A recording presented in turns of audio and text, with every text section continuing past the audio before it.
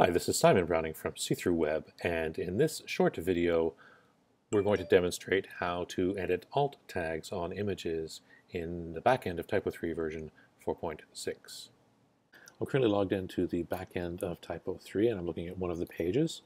Uh, and on this, pages, on this page, we have two types of uh, images. We have strict image elements, and we also have text with image elements. Uh, let's start with the text with image element. I'm going to hover over the element, and then I'm going to select my edit pencil. Once I do that, the content of the element comes up. On the first tab, which is general, we have the text of that element. The next tab is the images tab.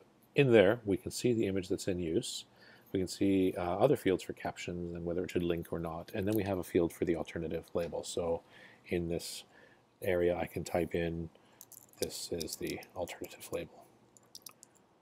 Or whatever relevant content we want to put in there describing the image.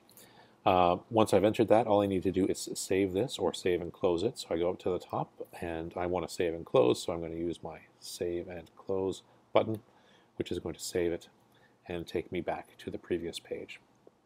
Now I don't want to leave that in there because it was phony content, so I'm just going to go back in and remove that. Save, close. Um, that's a text with image element. If I wanted to do a pure image element, um, these are all text with image. I can see because they say text. Um, this one is straight text with image. So I want its edit pencil, which is all the way over here. Um, and it's a very similar process.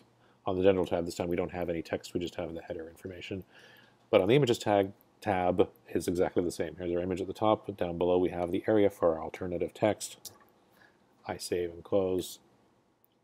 And there we go, the alt tab, alt tag for that image has been edited as well.